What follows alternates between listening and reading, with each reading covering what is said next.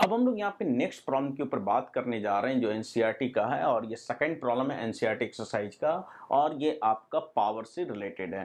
Question कहा जा रहा है कि ये जो चार ऑप्शन है, जिसमें आई स्क्वायर आ रहा है, फिर आई आर स्क्वायर है वी आई या वी स्क्वायर आर है V square divided by R है। तो आपको कहा गया कि कौन सा टर्म इसमें से इलेक्ट्रिकल पावर को रिप्रेजेंट नहीं कर रहा है। तो अब सोचिए इलेक्ट्रिकल पावर के बारे में हमारी क्या बात हुई थी? वी इंटू आई की। सपोज़ कोई भी इलेक्ट्रिकल सर्किट लेते हैं, उसके क्रॉस का यदि पोटेंशियल डिफरेंस वी होती है और उससे करंट आई पास कर रहा होता है तो उस सर्किट की जो पावर होती है, वो वी इंटू आई के इक्वल होती है। Potential difference into current I तो यही बात नहीं बात होगी P equal to V I Ohm's law कहता है कि V equal to I R तो मैं वी की जगह पे आई आर प्लेस कर देता हूँ। तो जब आई आर प्लेस कर दूँगा तो पी हो गया I R into I which will come out I square R इसके अंदर पावर वी आई के इक्वल होगा तो ये करेक्ट है। पावर आई स्क्वायर आर के इक्वल होगा तो ए भी करेक्ट है। तो ए और सी दोनों करेक्ट है, राइट? अब यहाँ पे बात आती है कि आई वी बाई आर के इक्वल भी होता है, ओम्स लॉ से।